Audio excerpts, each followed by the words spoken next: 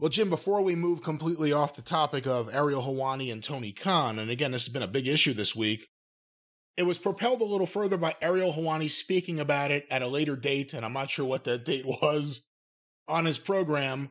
Let's go to this clip. We'll stop it maybe a couple times, get your thoughts. But here's Ariel Helwani talking about his Tony Khan interview. Tony Khan interview. Did this interview with Tony Khan last Tuesday. It aired Wednesday night. It was for the YouTube channel. You can check it out. Uh, I, I, I look, whatever I'm going to say here is going to piss off the, uh, the AEW supermarks. But I'll just say this. One of the most frustrating and to a degree, not so fun interviews of my career because as you may have seen, he didn't want to answer anything. Now look, like you're going to come on and promote X, Y, and Z. Great. And I'll play that dance with you. And I did at the beginning but you got to give us something to not even tell me like how you were feeling. I'm not asking for specifics on, all right, fine. I asked, is, is Punk to wrestle for you? Is he coming back? You don't want to get into it? Fine. But just tell me how you were feeling. Give me something. MJF contract. Hey, uh, you know, I don't do business in the public, but I'll tell you, love having him on board. Look forward to many years together. But give me something. Don't just say, not going to talk about it. Not going to talk about it. Doesn't serve me. Doesn't serve me. That's not the way you do it. If you want to be the voice, if you want to be the face, there's a way to do that dance. Look at Eddie. Look at Dana back in the day. L- look at some of the great promoters over the last 30 years. There's a way of giving us the answer, even though it's not the answer I want, but you're giving us some sort of answer, something to chew on, as opposed to just shutting it all down. Let me stop it there for a second. He's he's not wrong. He's not wrong, and he's very perceptive. Yeah. And he's been doing this for a while. But you know, when you Tony is, he was vaccinated with a phonograph needle. He never wants to shut up at his media scrum or at his interviews that he controls. But when somebody's asking him questions that he's not quick enough to come up with a bullshit answer for, and he doesn't want to give the real one, then he just shuts down. And in that case, that's not a person that ought to be doing the interviews, speaking for your company. Not very enjoyable. And if I'm being honest, like right off the bat, I was like, oh, I think you didn't like me back in the day because he turned down multiple interviews with me. And then we get right into the MJF thing and like really deep into the weeds on the PR stuff. And I was like, golly, this is how we're starting. All right. I just, you know, took a shot at BT, the ITV stuff, should have went back at him and reminded him two minutes ago that he, you know, was fawning over Warner Brothers Discovery about being the greatest place for AEW. Meanwhile, BT is owned by Warner Brothers Discovery, and yet he's telling me that ITV is a better place than BT. like just these things that I'm not exactly sure everything he just said, but but it, it sounds like a conflict of interest, doesn't it? It certainly does. Were um, you know, discrepancy. says he never met Nick Khan, then he says he talked to him on the phone. I was like, what are we doing here? Well, like, well, what is this? And you're not going to give me one legit answer. I appreciated meeting him. I, I enjoyed, but like, the enjoyment of getting to talk to the the guy who founded this great property that has done a lot of great things in three years fizzled out rather quickly when I realized the only answers he's going to give me are these long drawn out answers uh, promoting all this stuff and going on these tangents about Chris Jericho and this and that when you know we got a tight window and I kept mentioning the tight window because they told me there was a tight window and I can't get to the end of the stuff and then when I get to the stuff you don't want to answer any of them. You don't want to answer a single one. Not a single one. I won't get into this. I won't get it. MJF, uh, the Punk stuff, the Young Buck stuff. Asked him about Bray Wyatt. Uh, asked him about uh, what else did I ask him about? Uh, MJF, Punk, Young Bucks.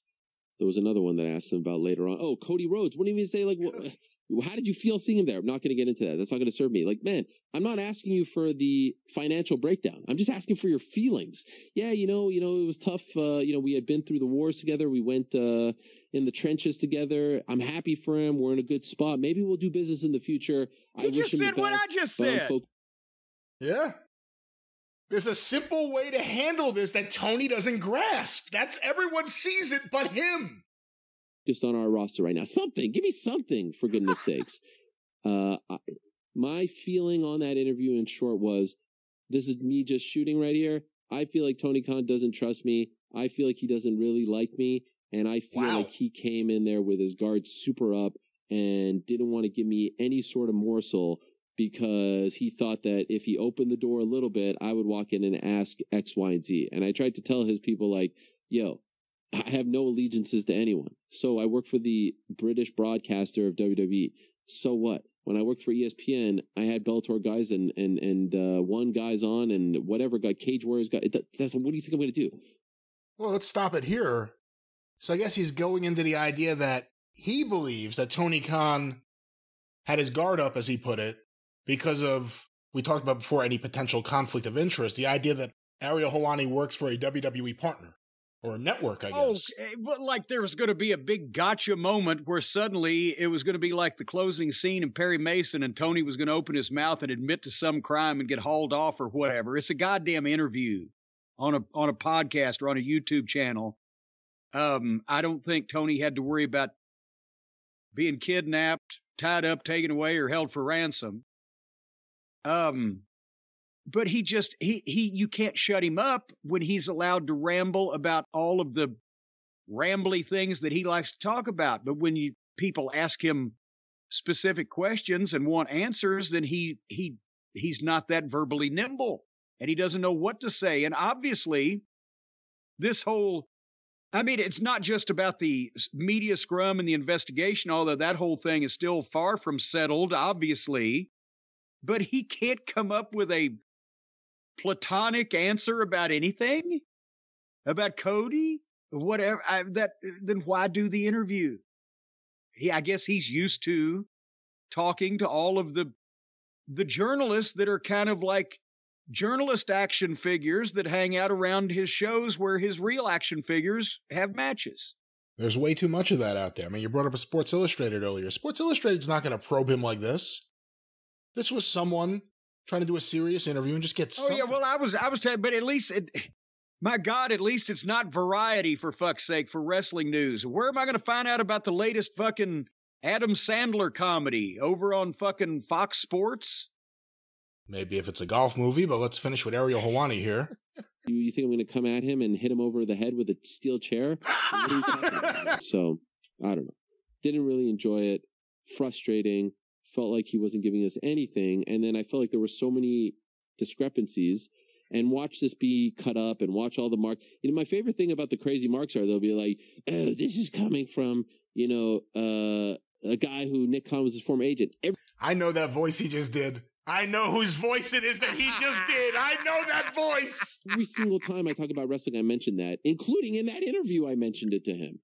Um, and they just, they love it. And you know what? I don't give a fuck. AEW in Toronto tonight. It's going to be great. My one regret was not asking about the 9,000 titles. Way too many titles in AEW. um, but here's the thing.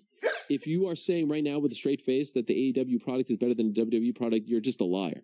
You're just an absolute liar. There's there's wow. no if, ands, or buts. The WWE wow. product is infinitely better, infinitely more interesting. Infinitely. And there's a freaking brawl happening backstage each and every week, it seems. Meanwhile, it's all kumbaya on the Stamford side of things. Like, if you're going to be a super fan, be a super fan, but also tell it like it is. Six months ago wasn't the case. A year ago, when Punk came back, wasn't the case. When Bryan signed, when Moxley came, all that stuff wasn't the case. But right this second, if you're going to sit here and say that it's a better product, you're an absolute liar. Adriana. Boom goes wow. With the announcement of UFC. Oh, wow. There it is. Ariel Helwani on uh, Tony Khan. What are your thoughts on that? Well, I, he's he's infringing on our gimmick. I thought we were the ones to call old Tony on the carpet, put him on the edge of the rug, and chasing him suitably. But Ariel has just aired everything out. I mean, he just went. He just did a promo at the end. He just went from "Here are my problems," and by the way, here's what I think of you.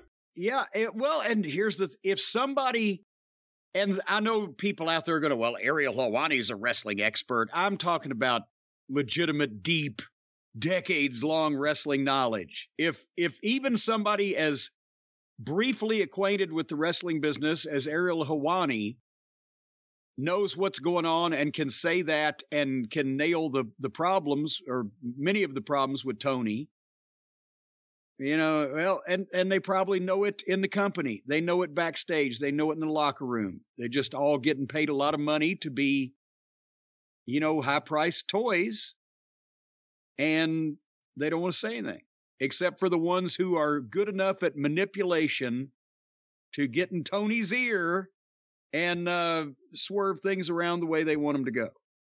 Yeah, he should have interviewed Jericho. Every answer he would have turned into something about himself. But when you think Either- about other executives like a Triple H or even a Bruce Pritchard, if they were doing an interview with someone like this, their non-answers wouldn't have been as You, not, not you abrupt, wouldn't you wouldn't have been able, able to tell that they didn't answer the question until you went back and listened to it a second time right. because they would have took you on the ride to begin with and then and then segued you somewhere else.